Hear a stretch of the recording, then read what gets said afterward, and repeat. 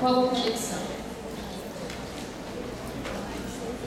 Eu agradeço a oportunidade de conversar com vocês hoje sobre esse tema e eu espero trazer algumas contribuições para que a gente possa mudar a nossa conduta a partir, quem sabe, do dia de hoje ou a partir de, de amanhã, trazer novas perspectivas para a nossa prática diária.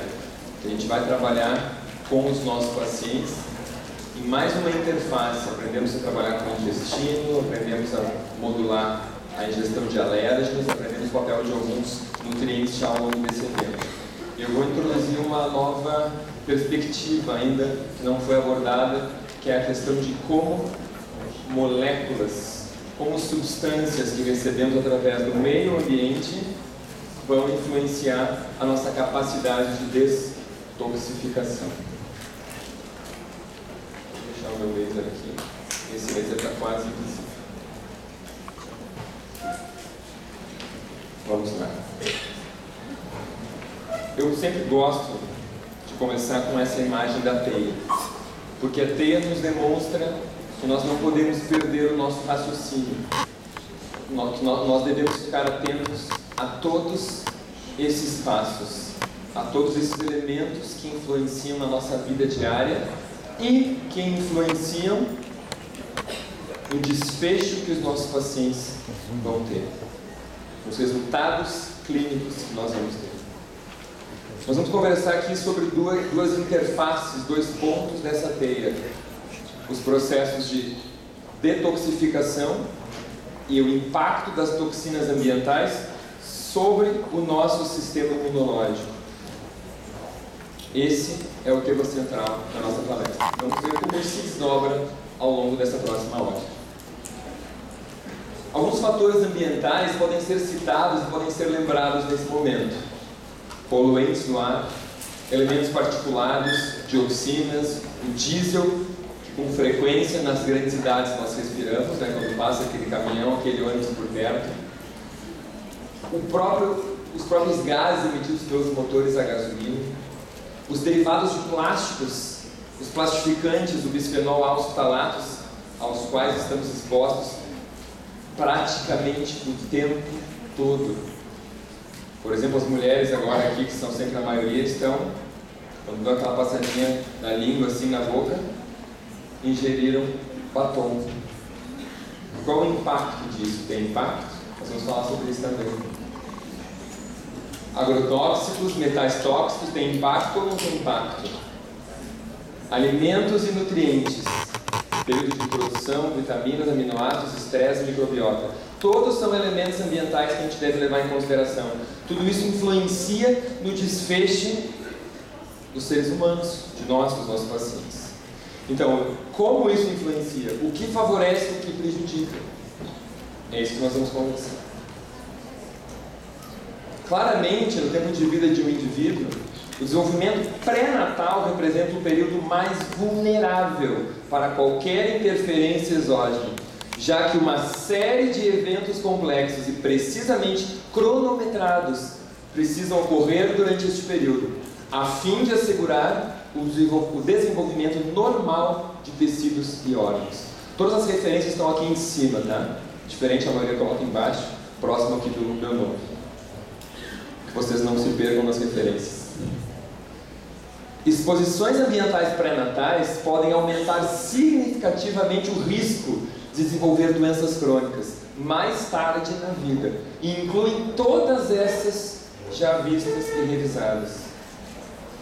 Então já se sabe que essas são influenciadas. A influência sobre o sistema imunológico nós vamos falar ao longo dessa conversa. Por exemplo, nós sabemos que a incidência de alergias é crescente na população. No mundo inteiro, elas aumentam.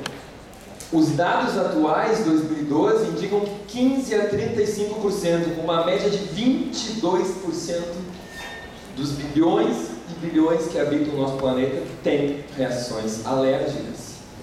Vejam que, por exemplo, nos Estados Unidos, dados de 2004, 1 em 15 tinha asma. Em 2007, 1 em 9 dados do Center for Disease Control dos Estados Unidos indicam asma. Vejam o crescimento em apenas três anos. Metade dessa asma considerada alérgica pelas estimativas oficiais. De 2001 a 2009, um aumento de 50% na asma no mesmo país entre crianças negras. Então vejam que o mundo está mudando. E junto com as mudanças do planeta, a mudança nas pessoas que habitam esse planeta. Então será que toxicantes ambientais, toxinas ambientais ou xenobióticos contribuem para alergias e para asma? Vejam esse estudo. Esse estudo analisou em 2050 bebês a concentração de pesticidas clorados no sangue do cordão umbilical e verificou que naquelas crianças mais expostas em regiões com mais indústrias químicas, elas também tinham mais alergias, maiores níveis de IgE sérica e mais eczema. Então, o que será que acontece com as crianças nascidas na cidade de São Paulo, por exemplo, ou em regiões muito industrializadas? É diferente de regiões com menos industrialização. Uma explicação. E no ambiente escolar? O que acontece na escola? Asma e problemas respiratórios foram analisados e foi visto em que as escolas que tinham mais mofos nas, na, na, nas suas paredes, nas suas instalações, mais solventes e mais plastificantes, aquelas crianças tinham mais asma estatisticamente e mais falta de ar à noite.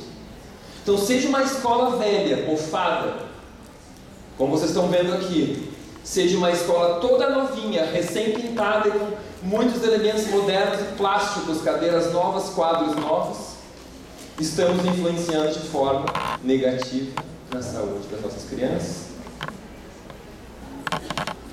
Em casa, não é só na escola, em casa, aquelas casas onde tinham novos carpetes instalados, as crianças apresentavam mais asma. Nas casas onde tinham mais daqueles materiais de compensado, MDF, aglomerados, etc., mais alergias de qualquer tipo foram encontradas. Então, esses são os dados que nós temos que analisar. O que tem nesses elementos? Por exemplo, os talatos também estão relacionados a alergias. Por exemplo, o BBZP, um benzilftalato, encontrados em todos os produtos de PVC. Vocês conhecem aberturas, esquadrias, etc. É alguns produtos de couro artificial, hoje é o que se usa em geral, né? Carpetes também, associados em seres humanos com rinite e eczema. Já o DHP, que é o dietilohexilftalato, também presente em todos os produtos de PVC e muitos outros que nós vamos citar daqui a pouquinho, ligados a mais, maior associação de asma, a indução da produção de citocinas TH2, a um shift, a uma alteração, a uma conversão de TH1 para TH2, ou seja, um favorecimento da do sistema imunológico TH2, que é o que está ligado às respostas alérgicas. E ainda um aumento de níveis de IgE e de IgG. Ou seja, os processos alérgicos estão sendo favorecidos. E como, como que nós nos expomos a? O que vocês estão vendo? Esmalte, aqueles casacos de chuva, lindos, modernos, aquelas botas, aquelas, como é que chama? Me perdoe, parecem umas galochas plásticas, né? Usam ftalatos na sua produção. Lustramóveis em casa, um título brilhante, né?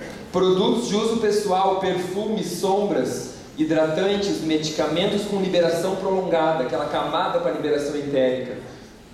Pode ser feita com ftalatos. Frequentemente é feita aberturas, pisos, portas de PVC, embalagens, adesivos, etc., detergentes, materiais médicos, materiais médicos, tintas, tintas de parede, tinta de impressão, esses elementos irão se misturar à poeira, lentamente eles vão se perdendo. Ah, mas é a abertura da minha casa aqui de PVC. Não há problema, eles vão se perdendo e vão se misturando a poeira e serão carreados pelo ambiente e serão inalados. A situação é tão caótica que um dia a gente vai chegar nele nesse caso. Vamos pedir ao médico que desconecte todos os medicamentos, Com certeza não queremos que você absorva todos esses falados. Nós temos que ter isso em mente. Há uma possibilidade de que isso aconteça contigo. Vejam agora o metal tóxico, o chumbo. O chumbo foi associado com alergias. Crianças de um condado nos Estados Unidos, Missouri, nesse estado. O chumbo sério, valores de 1 a 45, é considerado normal menos que 10 para crianças. Ou seja, dentro da referência, houve uma correlação positiva com o nível de IgE sérica. 13 anos após, voltaram e pegaram 318 crianças do mesmo grupo, da mesma área. Aquelas que tinham mais chumbo e exposição à fumaça do cigarro eram também as que tinham mais interleucina 4 no seu sangue e mais IgE. Então, quanto maior o chumbo sérico, maior foram os níveis de IgE encontrados nesse estudo. O mercúrio. Um estudo feito no Brasil com consumidores de peixe no Rio Amazonas e verificaram os níveis de mercúrio nesses, nesses indivíduos. E observaram que quem tinha mais maiores níveis de mercúrio maiores níveis de interleucina 6 e 4, resultando numa dominância TH2, que é associada a alergias. Então, o que nós estamos vendo aqui, mercúrio, peixes, alergias. Herbicidas. Herbicidas e pesticidas também associados com asma. 4 mil crianças estudadas na Califórnia, expostas a herbicidas no primeiro ano de vida. Aumento de 4,5 vezes no risco de asma muito maior do que para fumo passivo ou, por exemplo, baratas. Eles vários fatores ambientais aos quais essas crianças poderiam estar expostas. O maior fator foi exposição a herbicidas e o segundo, pesticidas utilizados em casa. Nos Estados Unidos é muito comum isso. Eles têm maquininhas, spray, carrinho para andar na grama em casa e eles vão pulverizando. Então vão catar aquela ervinha daninha que está ali. Eles vão ali e passam um produto químico em cima. No Brasil não chegou nesse nível ainda. Aqui a gente está na área do, na, dos produtos de limpeza, né? Se for ver uma sujeirinha, ele não quer esfregar, ela quer jogar um produto químico. Ela olha, joga o produto químico e espera agir. Depois ela quer passar, assim, até na propaganda, né? Passa o produto, passa assim, aquele troço vira um, um brilho só. Sem nenhuma força, sem nenhum esforço. E o gasto calórico cada vez menor e as pessoas engordando, que é uma beleza. É na época que se fazia força mesmo, a gente até de repente ajudava na epidemia da obesidade. Vocês vejam que o odds ratio foi 2,39, gente, aqui para pesticidas em casa. Então, bastante coisa. Esse foi um outro estudo, o Leipzig Allergy Risk Children Study, que verificou a exposição a solventes e o risco de alergias. Onde é que estão os solventes? Acabei de dizer, produtos de limpeza usados em casa, tintas e no próprio, na própria fumaça do cigarro. Crianças, eles estudaram crianças a termo e crianças prematuras, todas com fatores de risco familiares, então com parentes eh, com alergias, e acompanhadas durante o primeiro ano de vida. Aos três anos, durante o primeiro ano de vida, verificaram a exposição aos solventes. ok? E aos três anos de idade foram ver o que tinha acontecido com essas crianças. IgE, mediram IgE específica contra múltiplos alérgenos e o perfil de citocinas nos seus linfócitos T auxiliares. O que, eles verificaram? Crianças expostas a maiores quantidades de solvente de uso interior, de uso dentro de casa, produtos de limpeza, tinta, fumaça, cigarro, material de construção. O que normal, normal todo mundo está exposto. Maior resposta a TH2 e muito mais chance de alergia a leite e a ovos. A gente está brincando de limpar nossa casa com milhares de produtinhos de limpeza é aquela prateleira, né? Cheia de produto, cada um de uma cor, cada um com uma função. Cada peça da casa tem uns seis. Já viram isso, né? Tem casa que é assim, a minha não é, mas enfim. E aí o que acontece? Os filhos ficam alérgicos. Os pais ficam alérgicos. É isso que está acontecendo. Então nós temos que enxergar causalmente como a gente pode mudar isso. são os nossos hábitos. São os nossos hábitos. Solventes, que solventes são esses? Onde encontramos? Ó, tolueno, chileno, em produtos de limpeza. Benzeno, etilbenzeno, clorobenzeno. Nas emissões de motores a gasolina, por exemplo. Associados com maiores níveis de interleucina 4 e menores níveis de interferon gama. Interferon gama é uma citocina TH1. Interleucina 4 é uma citocina TH2. Então a gente está falando de perfil de linfócitos T auxiliares. Tá? E pode, isso Isso é um motivo pelo qual, por exemplo, os autores especulam que, que a exposição que as pessoas que moram em grandes cidades, expostas, portanto, a, a fumaça, as emissões dos motores a gasolina também, então tem um risco maior de, também de alergias, que já foi observado em outros estudos. Esse artigo muito interessante. O significado das exposições ambientais na progressão das alergias. Vamos ver o que encontraram esses autores aqui. Exposições, por exemplo, a esses alérgenos de ambientes fechados. Mofo, dermatófagos, ácaros, poeiras. Fumaça do tabaco, também positivamente correlacionado com progressão. Então, que auxilia a pessoa a se manter alérgica. Mantém a progressão do quadro alérgico. Alto risco se a mãe fumava regularmente e mais ainda se ambos os pais eram atópicos. E esse estudo não mostrou influência se apenas o pai fumava. Então isso talvez indique alguma coisa epigenética, mudada pela mãe, mais importantemente por mais tempo do que pelo pai, por, exemplo, é uma hipótese. Uso de fórmula à base de leite de vaca, todos nós sabemos que geram mais alergias do que fórmulas com proteínas hidrolisadas. Estão associadas com menor risco de dermatite atópica na infância e após os 8 anos de idade, como foi feito esse acompanhamento. Dormir em colchões cheios de lipopolissacarídeos, gente. Olhem os colchões que vocês têm que escolher a partir de hoje. Esses são os colchões adequados. Pode ser até o do cachorrinho ali. Colchão com mais bactérias, com mais parede de bactéria gram-negativa, foi associado a menos rinite alérgica e menos alergias na infância. Lembram da hipótese da higiene, muito comentada ao longo desse congresso. Quando você compra aquele colchão novo, alguém já ficou incomodado com aquele odor de derivado de petróleo? Então, às vezes é melhor ter um pouco de bactéria do que trocar pelo derivado de petróleo. Eu estava vendo na televisão ontem ainda, ontem, lembrando desse tema dos odores dos derivados plásticos. O cano, cano para instalações elétricas que não propaga chama. Esses elementos a gente chama são tóxicos. São usados com frequência os PCBs, que são antipropagadores de chama. E isso é muito utilizado em colchões que não pegam fogo. Quando venderem, professor, esse colchão especial não pega fogo. Porque isso virou moda nos Estados Unidos, foi uma obrigatoriedade, se não me engano. Depois que os caras fumando, dormiam, pegavam fogo no colchão, o cara morreu lá, aconteceu alguma coisa. E agora tem a gente anti-chama no colchão. E você respira aquilo ali. Uma maravilha. Fora na produção industrial que já vai contaminando o meio ambiente.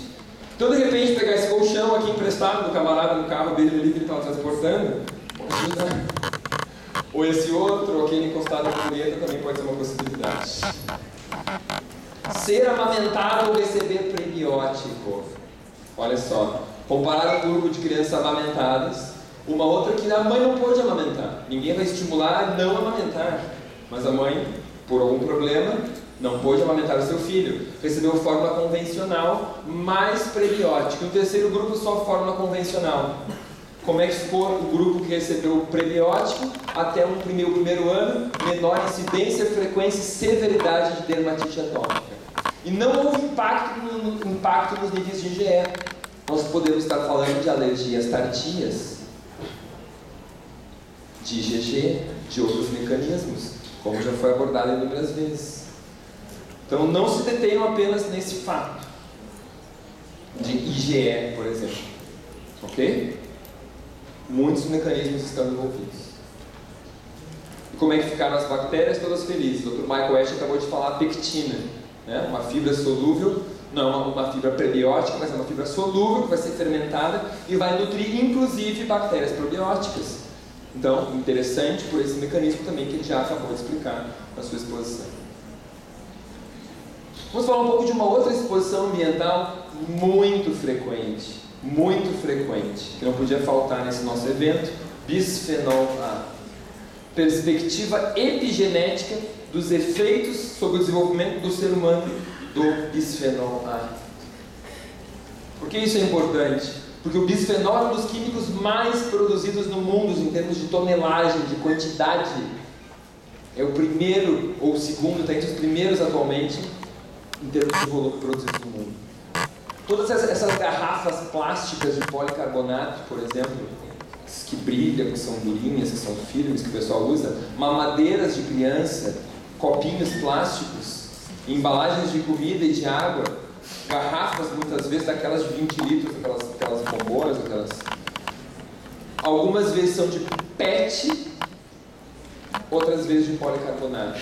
O PET vai liberar ftalato, polietileno tereftalato, esse é o nome do PET. Então vai liberar muito ftalato. E a que for de policarbonato, que é o plástico número 7, aparece como óder às vezes ali, númerozinho 7 no triângulo com óder embaixo, ou PC, que é o policarbonato, vai estar liberando bisfenol na sua água. Você vai querer trocar toda vez aquela bombona? Excelente, né? Cada vez é um plástico novo com bastante bisfenol, com bastante estalato. Então você tem que pensar numa outra solução para a sua água ficar trocando aquela água todos os dias. Resinas epóxi. Nós sabemos que isso é usado na parte interna das latas. Entre a lata e o alimento tem uma resina epóxi aplicada, rica em bisfenol A.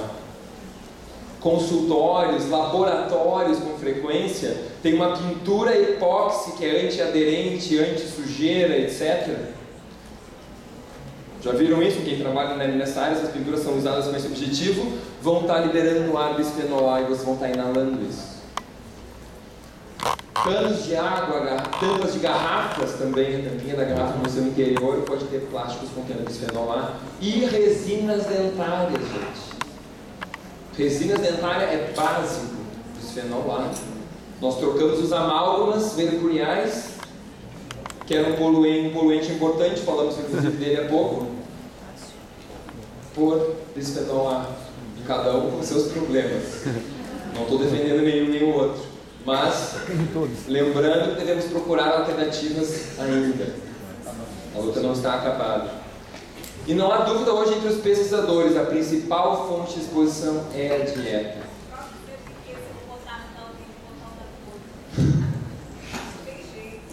Ainda, pasmem mulheres, aqui para vocês. Contato da pele com os papéis térmicos usados nas caixas registradoras, nas maquininhas de cartão de crédito. Vocês passando cartão, passando cartão, passando cartão e o bisfenol aumentando, aumentando na mesma proporção. Olha aí, terminou. Pior que o meu cartão do marido, não gasta. Mas bisfenol. Por isso que mulheres têm mais bisfenol do que homens. Só pode ser por isso. Mas não é só por isso. Crianças têm mais do que adolescentes, têm mais do que adultos. O que nós estamos dando para nossas crianças? Mais de 90% da população americana hoje tem níveis detectáveis de bifenol A no seu corpo através das menstruações urinárias. Lembrem, o químico mais produzido no mundo, ligado a influências bastante importantes. E qual é essa, essa toxicidade do bisfenol A? Qual é essa toxicidade epigenética? Ele é um poderoso reprogramador metabólico. Ele vai reprogramar os seus genes. Ele vai impactar diretamente no seu epigenoma. Vejam aqui nesse gráfico. Vocês estão vendo aqui genoma materno, vermelho, genoma paterno em azul. Estão vendo aqui à, à, à esquerda nível de metilação do DNA. O que, que o bisfenol A induz?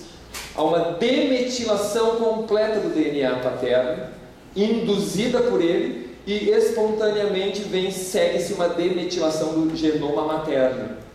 E depois uma remetilação, tanto nos tecidos extraembrionários quanto embrionários, em locais diferentes. E aí você tem essa reprogramação. Obviamente, isso são estudos em animais. Ninguém vai dar bisfenol para seres humanos e ver o que acontece.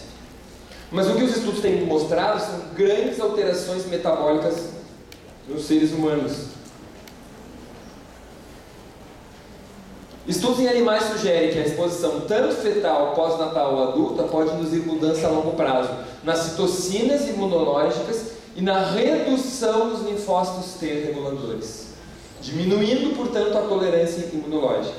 Mais pronunciadas são as mudanças quando a exposição ocorreu durante o desenvolvimento fetal. Reprogramação do seu genoma. É isso que nós estamos falando quando você se expõe a essas, esses elementos.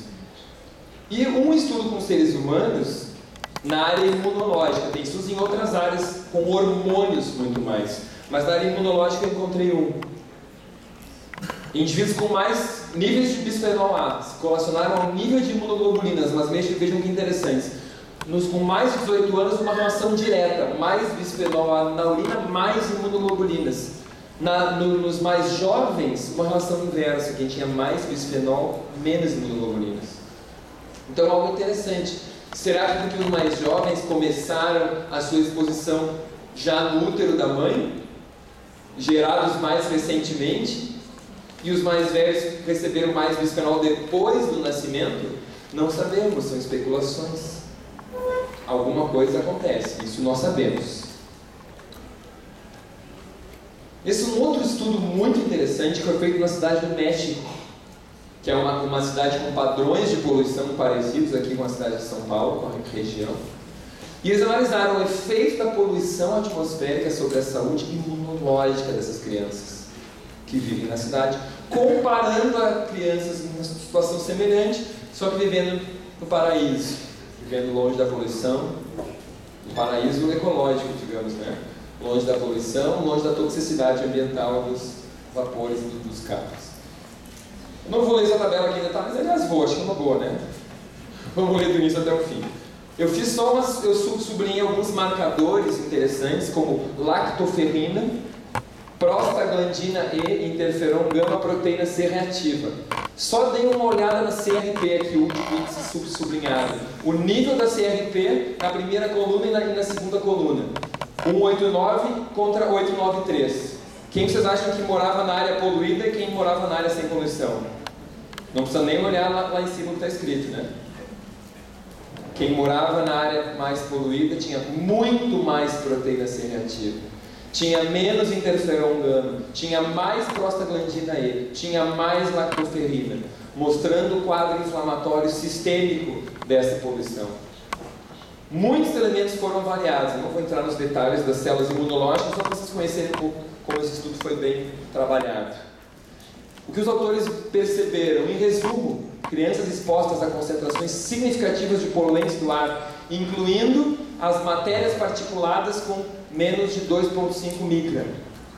São muito perigosas porque entram diretamente na circulação sistêmica. Desenvolveram inflamação sistêmica e alteração da resposta imune.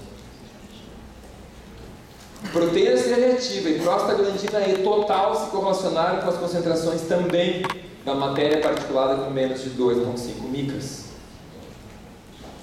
Então a gente às vezes pensa, o que será que aumentou essa proteína C reativa desse meu paciente? Ah, foi um resfriado, ah, foi uma dor de garganta.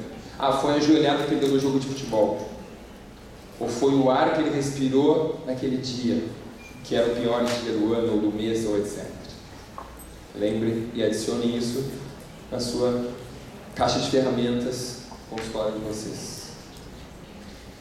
Essas crianças desenvolveram várias alterações complexas sistemas, no seu sistema imunológico, devido à exposição prolongada a essa poluição, deixando-os mais suscetíveis a infecções, processos malignos, malignos e degenerativos. Como que eles viram isso? Comparando, vendo, verificando esse, esse padrão imunológico sanguíneo, desses marcadores, com os marcadores de pessoas que desenvolvem essas doenças. Então, quem observa esse padrão de proteína C reativa, de lactoferrina, de etc, etc, de linfócitos desse tipo daquele tipo. Além do mais, as alterações imunológicas aqui observadas podem ter um papel no déficit cognitivo, nas respostas imunocerebrais inadequadas e mudanças das estruturas cerebrais observadas nestas crianças deste estudo. Então veja que dado relevante para a nossa prática. Poluição alterando o cérebro, alterando a função cerebral. Nós não estamos isolados, o planeta é um só. Um planeta doente gera indivíduos doentes. Ainda no tema, mas em que a gente fala sobre elementos ambientais, estrógenos ambientais, como o próprio bisfenol A, que não é só um estrógeno, também altera outros elementos hormonais, estão ligados à autoimunidade. Eu trouxe só critério de comentário, porque eu, em virtude do tempo da nossa palestra. Mas deixei registrado esse artigo de revisão da Autoimmunity Reviews agora, desse ano, como inseticidas como o DDT, que foi banido na década de 70, mas até hoje é encontrado e contrabandeado pelas fronteiras. Quem trabalha nessa área sabe. Metoxicloro, clordano, hexaclorobenzeno, um herbicida clorado, fungicidas, pentaclorofenol, aldicarbo. Vejam quantas moléculas cloradas tem aqui: clordano, metoxicloro, DDT, hexaclorobenzeno, pentaclorofenol. Moléculas cloradas orgânicas, gente. Perigo. Tempo de permanência elevado no organismo humano. Mas por que mecanismos nós podemos ter essa influência acontecendo? Mecanisticamente, como isso se explica? Alguns dados vieram à tona. Eu vou abordar isso com vocês agora.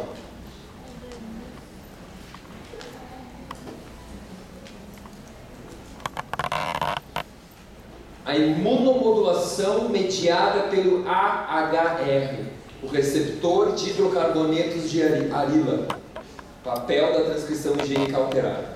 Esse receptor AHR é fundamental, é uma peça-chave na alteração do sistema imunológico. E vocês vão entender por quê. A ativação do AHR é um mecanismo comum pelos quais muitos contaminantes ambientais, semelhantes estruturalmente ao TCDD, que é como chamamos a dioxina, suprimem a resposta imune adaptativa. Então a dioxina atua através desse receptor e muitos outros contaminantes ambientais também atuam através desse receptor. A ativação desse receptor AHR pela dioxina pode levar ao dano hepatocelular, mudanças nos epitélios, câncer, defeitos em bebês e a involução do timo imunossupressão. Além disso, esse receptor AHR tem um papel no desenvolvimento vascular e hematopoético. Então nós também podemos ter influências negativas sobre esses sistemas. E olha que interessante, flavonoides suprimem a sinalização mediada pelo AHR, bloqueando as ações da dioxina. A nossa ingestão na dieta de flavonas, de flavonoides, de flavanonas e de catequinas, como apigenina, luteolina, camferol, naringenina e as catequinas do chá verde e do chocolate, que é também uma fonte riquíssima de catequinas, vão ajudar a bloquear o efeito dessas toxinas ambientais sobre o nosso organismo. Ouçam que boa notícia! Então, nós podemos, através da alimentação, antagonizar as toxinas. Então, quando a gente fala em dieta de detoxificação, o que eu estou fazendo? Eu estou inundando as minhas células de flavonoides, de fitoquímicos, que, entre outros múltiplos mecanismos, vão suprimir essa sinalização induzida pela dioxina e por outras toxinas que usam o mesmo mecanismo para afetar o nosso corpo. Mais dois estudos eu cito mecanisticamente. A interação da quinurenina, molécula recém-instalada pelo Dr. Michael, que eu sempre comento nas minhas aulas de pós-graduação, que é o metabólito triptofano e sua relação com o receptor de hidrocarbonetos de arila e as células T-reg, T-regulatórias. Vocês já ouviram muito falar delas ao longo desse evento. O que faz o triptofano que faz a quinurenina? Dados recentes indicam que metabólitos do triptofano, quinurenina, agem nas células T para induzir tolerância. Que foi apresentado agora pelo Dr. Michael? Inflamação crônica no intestino, ativando o AIDO, consumindo o triptofano, gerando esses metabólitos, até o momento em que você não tem mais triptofano. E você depletando o triptofano, falta quinurelina para gerar tolerância na sua célula. No início pode ser bom, só depois você esgota a sua reserva. Então não adianta estimular, tem que manter o nível adequado. Ou será que seria interessante aumentar o suprimento de triptofano na, na dieta? Não sei, não há estudos de intervenção quanto a isso. Mas vejam, as células dendríticas nos linfonodos do impróprio intestino têm essa enzima IDO, indolamina 2,3 deoxigenase. Então, a inibição da IDO in vitro inibe o desenvolvimento das células T regulatórias. Então, se tu não tem a ida, tu não tem a produção da quinurenina. A sua supressão in vivo em animais previne o desenvolvimento também da tolerância oral. Então, o animal sem hidro não consegue desenvolver tolerância oral. Então, o triptofano é um aminoácido fundamental na saúde do intestino, não apenas gastrointestinal, não apenas pela geração de melatonina nesse órgão, mais de 80%, cerca de 80% do triptofano ingerido pela via oral vira melatonina no próprio trato gastrointestinal. Mas também pela geração da quinurenina e o papel na tolerância e a indução dessas telas REC. Vejam aqui então como acontece essa reação. O triptofano ele pode ser metabolizado por duas enzimas, pela própria ido ou ainda pela triptofano 2,3 deoxigenase, formando fornilquinurenina e quinurenina finalmente, que pode ir ácido quinurênico. O que, que importa aqui? A ido é induzida por interferon gama, uma citocina inflamatória.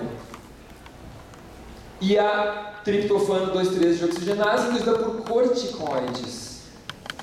Então, tanto um lado quanto o outro, corticoide é usado na anti-inflamação, vai fazer o que? Vai induzir, vai acelerar essa reação de consumo do triptofano gerando quinurenina. Então tu consome, tu começa a tomar corticoides, tu vai consumir a tua, o teu triptofano até haver uma depressão. Isso talvez no primeiro momento ajude, formando mais quinurenina para ajudar na tolerância. Só que depois que tu te esgotar o, o teu triptofano, o que vai acontecer? Será que vai gerar uma dependência? Como vai ficar o sistema imunológico depois dessa retirada? Será que ele vai ficar fragilizado? Não sabemos deste ponto de vista mecanístico o que irá acontecer. E, lendo esse artigo, me deparei com um fato interessante. A leflunomida, um medicamento novo usado na artrite reumatoide, ela é metabolizada e vai inibir a síntese das pirimidinas, o que leva à inibição da proliferação dos linfócitos T, CD4 ativados. Isso é só um parênteses, mas isso me lembra do ácido fólico, da história do ácido fólico que eu não podia deixar de citar. Se vocês viram que eu saí no meio da palestra do Dr. Michael, eu fui desocultar esse slide. Que eu aguardava que alguém fosse falar nesse congresso sobre o excesso de ácido fólico gerando alergias. Há estudos mostrando que as mães com níveis elevados de ácido fólico têm mais asma ou mais eczema nos seus filhos. Será que é porque o ácido fólico é um precursor imediato das bases pirimidínicas? Não sei. Há estudos e há dados mostrando isso que eu levo para vocês. Muito ácido fólico. Não, não resolve 5mg de ácido fólico para todas as mulheres. Isto é tóxico. Nós temos que monitorizar níveis plasmáticos de folato, de homocisteína, de B12 e garantir uma metilação ótima, com uma ingestão de colina, de B6, etc. A metilação deve ser suficiente, não adianta o excesso. Ainda mecanisticamente falando, eu vou entrar em detalhes mínimos desse desenho. Para que nós aumentemos a nossa compreensão do papel das células dendríticas na indução das células T regulatórias. Vamos ver alguns pontos aqui. Vejam um close um dos detalhes de, desse diagrama, do ácido retinóico. Suprime sinais inibitórios à diferenciação dos linfócitos T regulatórios. Ou seja, se não tiver ácido retinóico, nós não vamos ter uma quantidade adequada de células T regulatórias. Então, deficiência de vitamina A altera Treg. Aqui ainda no, na segunda elipse mais central, vocês estão vendo ali, triptofano gerando quinurenina, gerando 3HA, o ácido indolacético. Nós, temos aqui aumentando o TGF-beta que vai gerar supressão imunológica, vai diminuir a reatividade, está ligado à tolerância aos antígenos. Então tu tem que ter triptofano para virar quinurenina para poder ter TGF-beta na tua célula apresentadora de antígeno. A célula dendrítica é uma célula apresentadora de antígeno, uma APC. O que, que tem no box aqui à direita? Só um toque sobre, o Dr. Michael também já falou ontem rapidamente, parasitas e tolerância imunológica, nossos amigos dentro do nosso intestino.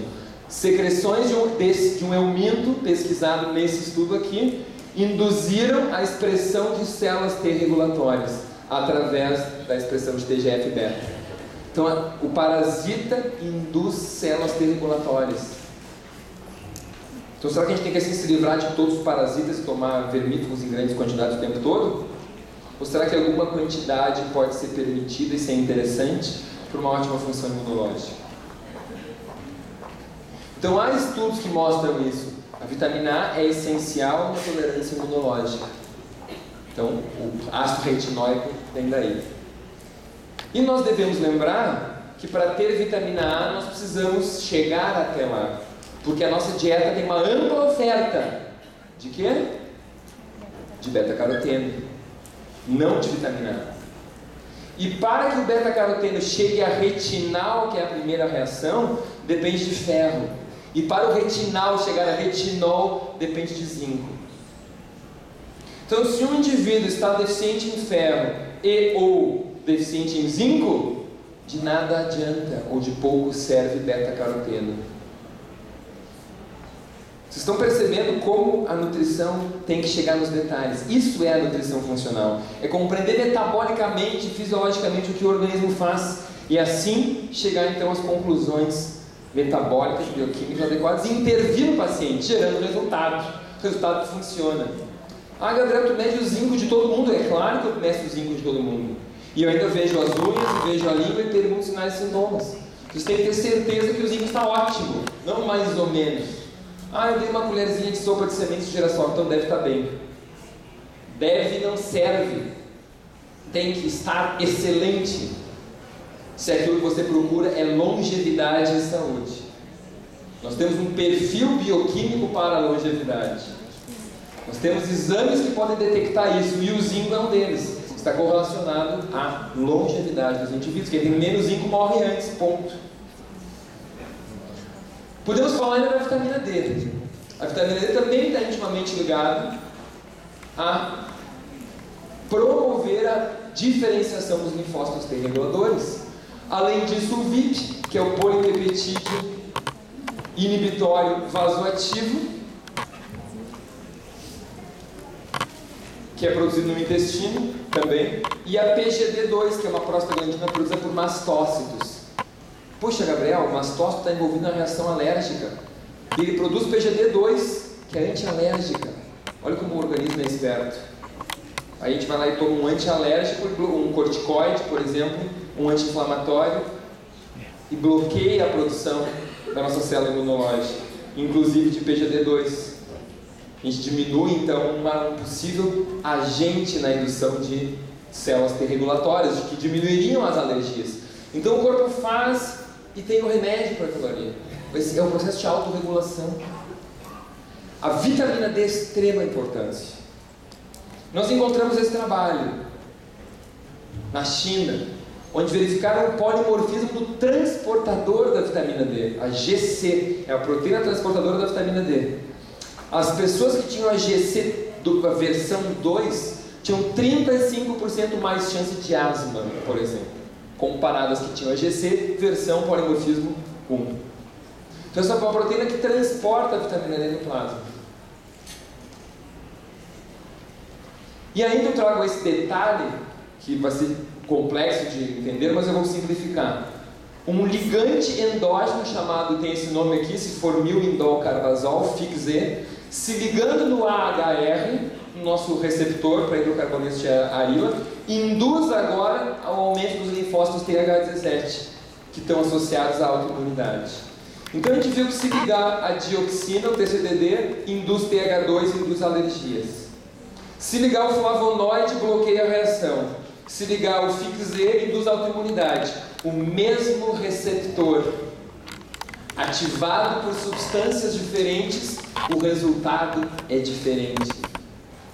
Lembre-se muito disso. Quando, por exemplo, falarem de hormônios. E vocês vão querer entender por que, que a isoflavona é diferente do estradiol, que é diferente da estrona, que é diferente do bisfenol atuando no mesmo receptor. Às vezes não é só a quantidade de hormônio que você tem, é o tipo de hormônio que você tem que vai gerar o resultado. Nesse meu exemplo, câncer de mama, de ovário, etc.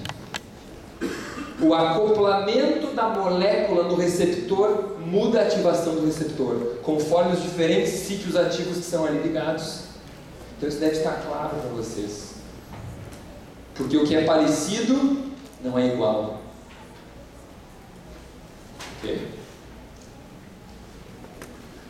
Vamos entrar um pouco mais em mecanismos e falar sobre essa, essa molécula fantástica que eu entusiasmo muito quando falo sobre ela, que é a glutationa. Vamos entrar na parte boa aqui da aula, onde vai falar de como solucionar de como diminuir esses problemas, potencialmente pelo menos. A glutationa tem uma relação direta com o destino da célula imunológica. Olha que coisa linda.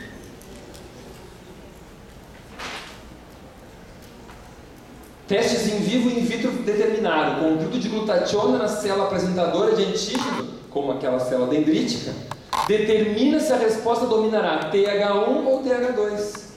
Olha só. Se o conteúdo de glutationa for normal na nossa célula apresentadora de antígeno, a célula imatura vai um pouco para TH1 e um pouco para TH2, fica equilibrado. Se essa célula for depletada de glutationa, nós geramos uma dominância de TH2, um excesso de TH2, que está associado, por exemplo, com alergias e asma. Então, esse pode ser um mecanismo pelo qual muitos poluentes, como mercúrio, chumbo, etc., por depletar glutationa, induzem alergias. Mercúrio, importante agente depletor de glutationa por exemplo. Ou vocês vão lembrar daquelas pessoas com os problemas de metilação, que não fazem direito o ciclo do folato, que não chega, que fica aí tudo parado em homocisteína, que não avançam isso dessa homocisteína a cisteína e assim não conseguem produzir a glutationa. Se a pessoa não tem ingestão de metionina, come pouca proteína animal, ela não vai a cisteína. Primeiro a homocisteína, depois a cisteína.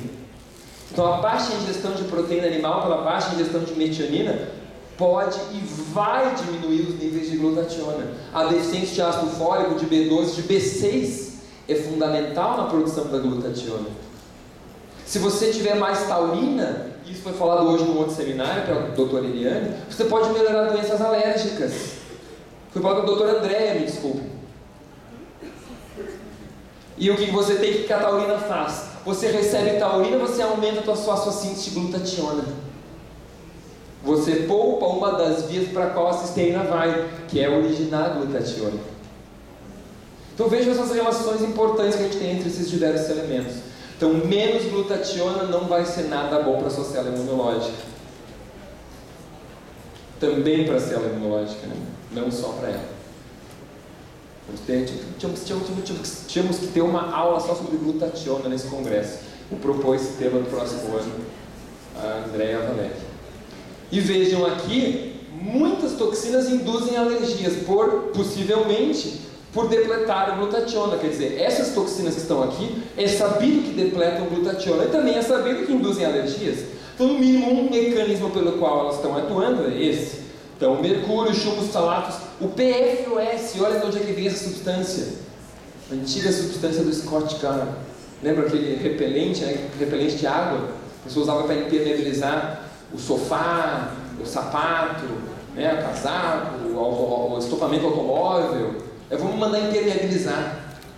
Até agora, 2000 e pouco, usava essa substância aqui. Trocaram para uma outra agora, o nome também bem estranho esse aí, que não parece inspirar muita confiança. Mas essa tem menos pesquisas, então por enquanto nós não podemos falar mais. Tolueno, benzeno, cloropirifose e a fumaça do diesel, que se sabe-se muito ligada também a toxinas. Ainda interessante é que eu encontrei dados que correlacionam polimorfismo em como nós detoxificamos a suscetibilidade a poluentes e alergias. Nós falamos de detoxificação hoje, falamos de poluentes, como detoxificar e como é importante evitar a exposição. Falamos que glutationa, quer dizer, você sabe que glutationa é importante, detoxificante, etc. E os indivíduos com polimorfismo, justamente na enzima que usa glutationa, GST, P1 e M1, os que são nulos para essa enzima, que não tem essa versão da enzima, o que acontece com eles? Mais chance de alergias ambientais e aéreas após a exposição aos particulados do diesel. Olhem os níveis de IgE dos indivíduos, seres humanos, gente. O Lancet, 2004, a gente está falando já quase 8 anos atrás. Muitos níveis muito mais elevados de IgE, 102 contra 45, e níveis de estamina muito maiores, o dobro, 14 contra 7. Então o que a gente está vendo? Tu tem um polimorfismo na tua genética que tu vai ficar mais. Um polimorfismo de detoxificação que tu vai ficar mais alérgico. Imagina se tu tem um polimorfismo de ganho de função de interleucina 4. Soma com um polimorfismo de perda de função de interleucina 10. E soma com um polimorfismo GST-M1 nulo, que afeta 50% da população caucasiana. Esse polimorfismo aqui. 50%, metade aqui possivelmente, talvez aqui como é mais mista a nossa colonização do Brasil, deve ser menos, 40%, 30%. É nulo para essa enzima. Então detoxifica mal e vai usar pior a sua glutationa. Então, o que, que acontece? Ficamos mais alérgicos. E isso não é raro, gente. Este que vos fala tem esses polimorfismos somados. E aí você acha que a alimentação vai ser normal? Que você vai se expor a tudo e vai ficar numa boa? E nada vai acontecer porque seu corpo é fechado. Você vai achar, não foi Deus que quis. Foi o meu karma. São as possibilidades, são as escolhas. Mas essa é a vida real, essas são as pessoas reais. E vai chegar aquele cliente e vai dizer: quando eu vou poder comer de novo esse alimento? Você vai dizer: eu não sei, eu não conheço os seus genes ainda.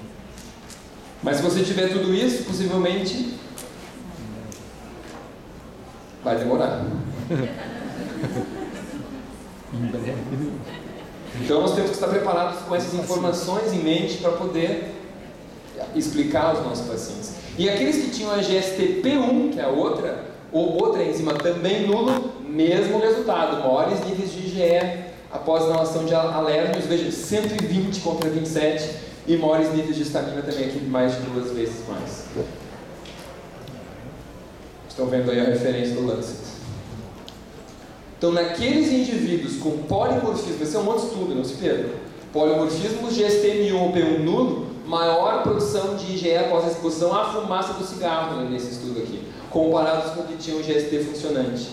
Esse já é o American Journal of Respiratory eh, Critical Care. Então nós sabemos que isso ocorre na vida real.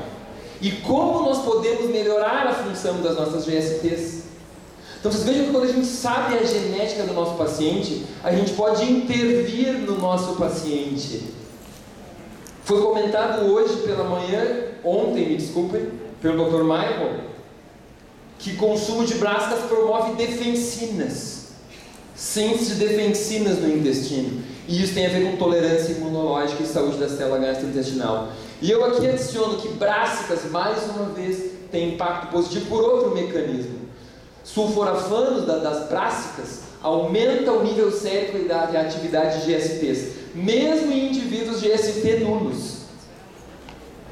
Os sulforafanos aumentaram o GST-M1 e P1 e outras enzimas de fase 2 no trato respiratório. Tem ótimos estudos também com agrião, aumentando a proteção contra a fumaça do cigarro no trato respiratório. Até minha vovó já dizia, né? Xarope de mel com agrião era bom para tosse, etc. E os sulforafanos diminuíram os efeitos pró-alérgicos do DEP, a, exposição do, do, diesel, particulados da, exposição do diesel sobre os linfócitos B, e um pré-tratamento de células epiteliais brônquicas humanas com sulforafanos reduziu a alergenicidade também aos particulados do diesel. Então vejam aí, nós, nós temos na nossa mão ferramentas dietéticas, mas obviamente conhecendo o genoma do nosso paciente, nós vamos poder intervir com mais propriedade, com mais individualidade. Quem sabe até indicando no futuro, olha, tu tem esse polimorfismo, vamos ter que consumir tantas porções semanais de brássicas. E para evitar outros problemas tireoidianos, nós vamos usar então uma complementação com iodo de algas, por exemplo. Então essas informações aos poucos vão surgindo. Nós devemos ficar atentos a essas múltiplas interações e interrelações dos alimentos com os diferentes nutrientes. Não adianta salvar das alergias e gerar um hipotireoidismo, que vai piorar alergias por sua vez. Mas não é tema da nossa palestra. Então temos algumas conclusões, perspectivas e possíveis soluções no final dessa palestra, correto? Perguntaram esses autores: pode a epidemia de alergias alimentares ser revertida? Recomendo que anotem essa referência, esse jornal iraniano de medicina, que está todo aberto, apenas uma edição inteira de janeiro de, de, de, desse ano só sobre alergias e as suas diferentes modalidades de tratamentos. E também explicações uh, fisio, fisiopatológicas bem interessantes. Vamos a algumas ideias. A exposição pré-natal intrauterina a diversos produtos químicos altera a expressão gênica e gera suscetibilidade a doenças para toda a vida. Isso nós vimos e não temos dúvida. Centenas de produtos químicos já foram testados, estão associados ao aumento de alergias respiratórias, cutâneas e alimentares. Então, devemos nos afastar. Mecanismos pelos quais essas, esses elementos ambientais podem influenciar o nosso sistema imunológico incluem a ativação do receptor para hidrocarbonetos de alívio, inclui depressão de triptofano, Pode incluir a deficiência da vitamina D, deficiência do retinol, carência da prostaglandina D2 e ainda a depressão da glutationa na célula imunológica. Mecanismos, temos que conhecer mecanismos para intervir de forma adequada. Terapias podem ser feitas. Então temos aqui possibilidades de agentes terapêuticos. Muitos necessitando mais estudos, mas temos que ter em mente e ficar atentos ao que vai sendo publicado. A programação da gestação com detoxificação da mãe, por exemplo. Estudos com detoxificação pré-gestacional, não durante, não me façam isso. Pré-gestacional, no preparo da gestação saudável. Essa ideia tem que estar na cabeça das mulheres. A remoção do poluente ou a redução da sua exposição, não for possível remover. Não erradicar parasitas precocemente ou sem necessidade os primeiros anos de vida, dois anos em especial, são fundamentais. E se a criança não estiver eliminando parasitas por todos os lados e contribuindo negativamente ao seu crescimento e desenvolvimento, não deve ser dado preventivo ou profilaticamente, como muitas vezes é feito. Ah, é um ano vamos dar um antiparasitário. Dois anos antiparasitário. Três anos mais uma vez. Isso não é brincadeira, gente. É uma vida. Triptofano, vitamina D, retinol, sem excesso de ácido fólico, N-acetilcisteína, aumentando glutationa, flavonoides e brássicas. Todos esses podem ser utilizados. E finalmente, ao soar do alarme, eu volto à teia da nutrição funcional. E nós começamos falando sobre disfunção imunológica e problemas de detoxificação. E vimos que eles estão interligados profundamente. Se você tem uma genética ruim ou não, se apenas se expõe em excesso, você pode ter problemas, vai ter problemas. E isso inclui outros pontos da teia, como o seu intestino e ativação do sistema imune entérico, o triptofano e etc. Isso inclui o estresse oxidativo gerado pelo déficit da glutationa na célula imunológica, por exemplo. Ou isso inclui ainda desequilíbrios nutricionais, como a carência da própria vitamina A ou da vitamina D, ou podemos falar de zinco ou outros elementos. Então você começa a perceber como quando nós olhamos a teia, muitas vezes independente de conhecer o mecanismo. Nós vamos, eu não sei nada, mas eu vou deixar minha vitamina D do meu paciente bem, vou deixar o zinco dele bem, eu vou limpar o intestino dele, eu não quero que ele tenha muita toxina, eu vou detoxificá-lo. Sem saber mecanismo, você já vai fazer a coisa certa. Você vai tratar as suas células com carinho. Você vai dar para ela o que ela precisa e tirar o que ela não precisa. Ao final dessa palestra, eu deixo essa mensagem. Tratem com carinho as suas células. Pensem como que se estivessem dentro delas. Vocês gostariam de ser vocês? Vocês gostariam de ser uma célula do seu próprio corpo?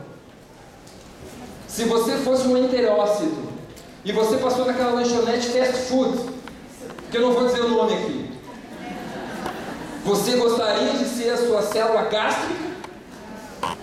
Você gostaria de ser o seu enterócito, o seu colonócito? Imagine aquela informação daquela alimentação chegando no seu DNA e influenciando a sua genética. Visualize no seu ovário, formando seus folículos, seus embriões ali dentro, recebendo aquele impacto epigenético.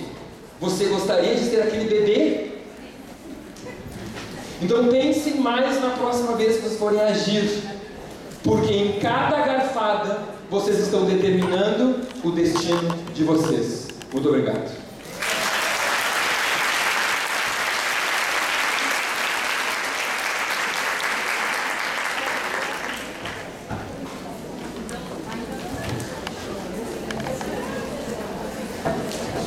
Não, não teremos tempo para perguntas, mas o Gabriel vai ficar disponível aqui ao lado, eh, caso alguém tenha interesse em fazer alguma pergunta para ele. Agora temos um intervalo.